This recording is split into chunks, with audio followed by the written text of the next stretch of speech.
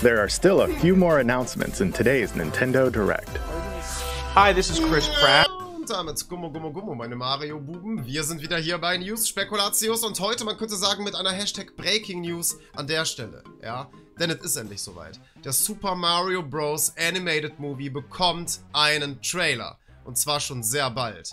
Alle Infos dazu wann genau das stattfinden wird und vieles, vieles mehr. Und Chris Pratts Meinung zum Trailer, denn er hat ihn gesehen, genauso wie ich, denn mein Onkel arbeitet bei die Nintendo. Das alles und vieles mehr in diesem Video. Kommt also sehr gerne heran und lasst einen Daumen nach oben dafür den heiligen Support und um zu zeigen, dass euch das Video gefällt. Vielen, vielen Arsch. Und natürlich auch 1 Like gleich 1 Hype auf den Film. Oh, danke für 0 Likes. Äh. Wir kommen zum ja, wir machen es kurz. Ja, äh, zuerst aber eine kleine Frage. Ja, ihr denkt euch jetzt bestimmt so, wo wird dieser Film, Trailer, bitte, angekündigt? Ja, das, ist das jetzt in einer extra Direct Mini oder wird Nintendo das auf ihrer Webseite publizieren ab einer bestimmten Uhrzeit zu einem bestimmten Datum oder äh, auf der Tokyo Game Show oder, ja, nee, die ist vorbei, aber bei den Game Awards oder so, irgendwas Großes, ähm, äh, nein. Ähm, nein. Es ist aber trotzdem irgendwas Großes, aber ich habe irgendwie in den letzten Jahren sehr wenig davon mitbekommen, weil es interessiert mich einfach nicht. Die New York Comic Con, sagt ihr euch was? Dort wird der Trailer, der Teaser-Trailer, ähm, veröffentlicht. Dort wird er publiziert. Also nicht auf der Nintendo-Website, nicht in der extra Direct Mini, sondern auf der Comic Con. Also, nicht falsch verstehen oder so. Ich habe gesehen, die äh, Twitter-Page von der Comic-Con hat eine halbe Million Follower. Das ist echt viel. Aber ich weiß nicht. Ist das echt so der Spot, um was anzukündigen? Und falls, falls ja, wäre die Gamescom dafür auch ein Anlaufpunkt gewesen? Oder die Tokyo Game Show? So, die war ja erst letzte Woche so mäßig. Von daher, ich finde das, das ein bisschen, ja, nicht weird, aber es ist, warum ist es die Comic-Con? So, jedenfalls, hier haben wir die, äh, die Infos. Ja, alle leckeren Extras, na klar. Ähm, ja, sie haben geschrieben, besucht uns ähm, von der New York Comic Con oder auf der New York Comic Con am Donnerstag, den 6. Oktober um 4 p.m. Ähm, Eastern Time, also das müsste 22 Uhr zu deutscher Zeit sein, für die Teaser-Trailer-Premiere des kommenden Super Mario Bros. Films von Nintendo und Illumination, der am 7. April 2023 veröffentlicht wird. Ja. Und ich glaube, hier wurde jetzt, glaube ich, das erste Mal der Release-Date des Films gedroppt, oder? Ich meine, klar, es war äh, auf der Illumination-Seite schon sehr oft angezeigt, dass es eben äh, hier Holiday 2022 rauskommt, was aber verschoben worden ist nach hinten. Dann wurde ja gesagt, ähm, oder aktualisiert, äh, Frühling 2023. Und äh, ich glaube, jetzt haben wir das erste Mal einen Release-Date bekommen. Das ist sehr wild. Ich denke, das wird aimen auf einen internationalen Release. Ich hoffe es zumindest sehr. Äh, nicht, dass man irgendwie in Europa oder so erst in zwei Wochen rein darf, aber als ob, oder? Ich, ich, ich, ich glaube, das ist schon so wie bei Videospielen gemacht, dass quasi versucht wird, weltweit in die Kinos ähm, den einen Film zu äh, premierisieren. Ähm, ja, Mann. Ja, also, Teaser-Trailer-Premiere. Es ist, es wird ein kleiner Trailer sein. Ähm, und es, man muss auch sagen, es ist irgendwo zu erwarten. Denn äh, wir werden wahrscheinlich hier ein nicht mehr als einen 30-Sekunden-Trailer oder so bekommen. Vielleicht eine Minute. Es kommt immer ganz darauf an, so wie möchte man das Wort Teaser ähm, definieren. Aber ich sehe das immer so mit 30 bis, also unter einer Minute so auf jeden Fall. Und ich weiß nicht so. Ich weiß nicht. Ich habe das Gefühl, ähm,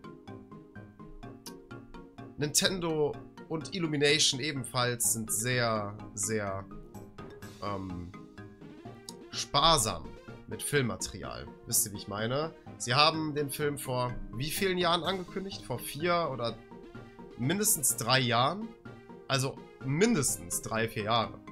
Und ich glaube, seitdem gab es ja wirklich wenig Infos. Miyamoto-san hat sehr oft darüber gesprochen, ähm, in unter anderem Directs, jetzt in der letzten leider nicht, wobei es sich auch da angeboten hätte, So von wegen, hey, und alle, die auf den Mario-Film warten, ja, äh, hier, äh, äh, nicht please take a look, aber wartet die nächsten Wochen ab, so.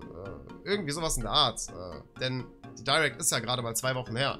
Da hätte Herr Miyamoto das ja auf jeden Fall sagen können, so. Aber, mein J, na, das auch nur dazu. Aber sie war, Nintendo ist wirklich sehr sparsam und äh, sehr spärlich mit Content zum Film umgegangen und das hat in vielen von uns eine Art äh, Angst geweckt. So, wir haben noch keinen Trailer zum Film gesehen. Bei, bei anderen Filmen ähm, sieht man Trailer schon ein Jahr im Voraus oder zwei Jahre im Voraus oder so. Ähm, und jetzt hier sind wir ein halbes Jahr vom Release des Films entfernt. Wir haben immer noch kein Actual Filmshot gesehen. Keine Locations, kein bisschen, äh, äh, keine Ahnung, worum es geht. Es ist sehr geheimnisvoll und das passt auch sehr zu Nintendo. Denn Nintendo ist schon seit jeher so gewesen, dass sie uns überraschen wollen und äh, deswegen immer sehr geheimnisvoll tun und äh, so lange wie möglich darauf warten, um irgendetwas äh, an, an Informationen weiterzugeben, so. Ähm, und ich kann natürlich trotzdem verstehen, dass es in vielen die Angst weckt, wird der Film gut so? Wahrscheinlich haben die noch nichts gezeigt, weil der Film extrem kacke wird, so. Am Ende sind da auch Minions dabei und die sind die ganze Zeit am Furzen, so. Das ist, wisst ihr, wie ich meine? Das ist, das wird ein Disgusting-Film. Ähm, Illumination macht das, wirklich die Macher von Minions und, äh, ähm, ich einfach unverbesserlich und diese ganze Ecke so. Ja, und das, das hat natürlich in vielen ein wenig Angst geweckt und ähm, Bedenken. Aber, however, ja, kommen wir jetzt zu Chris Pratt, dem heiligen Bruder. Denn er hat folgendes auf Twitter geschrieben. Als Antwort zum Comic-Con-Tweet. Let's go. Ich habe den Teaser-Trailer gerade zum allerersten Mal gesehen. Ich glaube, das war gestern Abend, als es angekündigt worden ist. Ähm, beziehungsweise, ja, es war... Äh, warte mal kurz. War das heute Nacht? War das heute Nacht, als er das geschrieben hatte? Wild. Ähm, also die Ankündigung ist ja schon 16 Stunden her für mich jetzt, aber wild. Zum allerersten Mal selbst gesehen. Ich bin einfach hin und weg. Du wirst es auch sein. Das verspreche ich dir. Er ist sehr speziell, der Teaser-Trailer. Ich kann es kaum erwarten. Ähm, wahrscheinlich die Reaktion von uns zu erwarten oder so. Hashtag Super Mario Bros. Movie. Und, ähm, das ist krass, ja, äh, also na natürlich, natürlich, ja, man, man darf, also, als ich das gelesen habe, dachte ich mir so, okay, so, Entwarnung. Wenn Chris Pratt das sagt, dann kann ich mir vorstellen, der Teaser-Trailer wird gut. So, der Teaser-Trailer wird nice. Ähm, auf der anderen Seite denkt man sich natürlich so, ey, er arbeitet für den Film. Oder er arbeitet am Film mit indem er Mario spricht. Ich denke, natürlich muss man da irgendwo eine Haltung einnehmen von wegen, ja, man wird geil. Ähm, aber, ne, ich glaube, in der heutigen Zeit sowas zu droppen, ähm, und der Film wird kacke, ne, ich, ich, glaube, Chris Pratt würde nicht mehr ernst genommen werden. So. Und ich, ich, ne, daher denke ich nicht, dass das passieren wird, weil Chris Pratt halt jemand ist, der, ähm, ja. Also, er hat Expertise. Ja, und ähm, ich denke mal, seine Erfahrung wird auch irgendwo über der Anordnung stehen. Ähm, sag mal, äh, dass der Film gut ist. Ich glaube, Chris Pratt kann selber sagen, dass der Film gut ist, ohne es von Dritten irgendwie, ähm, ja, äh, äh, als eine Art ähm, Dienstleistung rauszupromoten. Wisst ihr, wie ich meine? Ich denke, da steckt auch eine ehrliche Meinung hinter. Das ist das, was ich sagen will. Und daher, ich bin sehr gespannt. Was sagt ihr zu Chris Pratts Meinung dazu? Denkt ihr, der Film wird je? Ich hoffe sehr. Ähm, wenn es dann am 6. Oktober soweit ist. In quasi zwei Wochen. Nicht mal zwei Wochen ist es soweit so. Und da ist natürlich die Frage, ja, Reaction zum Trailer, Kai. Ja, nein, willst du das versuchen so? Ähm, kurz dazu, bevor ich nicht von Illumination oder Nintendo oder von einer irgendeiner anderen großen Instanz grünes Licht bekomme, hey, auf diesen Trailer, der copyright-technisch geschützt ist und der vielleicht dafür sorgen kann, dass ihr DMCA'd werdet, wenn ihr darauf reagiert, wenn ihr Trailer-Material zeigt. Ähm, wenn ich grünes Licht drauf bekomme, eine Reaction auf den Trailer machen zu dürfen, dann mache ich auf jeden Fall eine.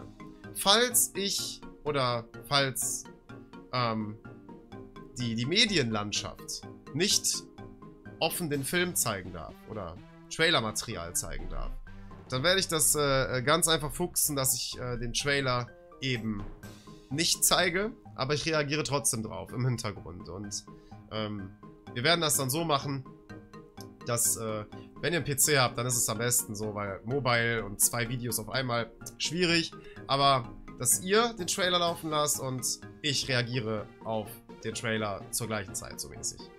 Ähm, und wir synken dann runter und dann äh, drückt ihr auf Play und dann reagieren wir alle zusammen drauf, so mäßig. Äh, das wäre mein Gedanke gewesen, ja, das wäre mein Gedanke dazu gewesen. So eine Art Reaction zum Trailer wäre, glaube ich, okay. Und ist auch, glaube ich, die einzige Möglichkeit. Weil, wie gesagt, bei Filmen ist es immer was anderes als bei, bei Videospielen so. Bei Musik ist es ja auch ähnlich so. Wenn du, wenn du copyright-technisch geschützte Musik zeigst, du kannst entweder gestrikt oder du kannst ähm, geclaimed werden so. Ähm, aber ich, ich denke, gestrikt in den wenigsten Fällen. So. Ähm, aber ja, das ist so mein Senf zum Reaction-Ding. Weil man kann halt nie sagen, ne? Wenn ich nicht vorher die Bestätigung bekomme und ich reagiere dann drauf und dann bin ich der Blöde, der gestrikt wird. So, da habe ich keinen Bock drauf. Aber gut, BrüderInnen, das sollte es gewesen sein. Eure Meinung zu dem Ganzen hier äh, in die Kommentare. Seid ihr sehr gehypt? Seid ihr gehypt? Schreibt es in die Kommentare hinein und hauen sie hinein. Und tschüss.